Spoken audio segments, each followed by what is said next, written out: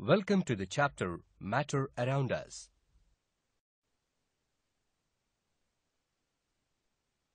Now, let us perform an activity to observe the diffusion of gases. Click each tab to know more. Take some incense sticks and smell their fragrance. Place them in any corner of the room. Light the incense sticks.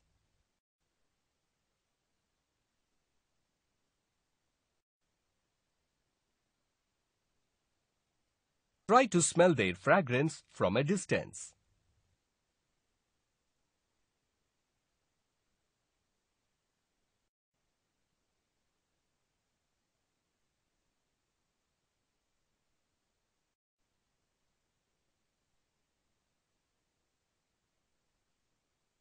In this activity, we observe that when we light the incense sticks, the scent in the vapor form and smoke mixes with the air and moves across the room to reach our nose.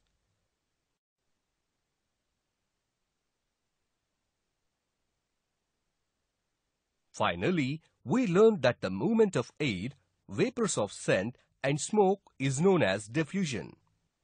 In this case, smoke, vapor of scent and air are highly mobile and are in the form of gases.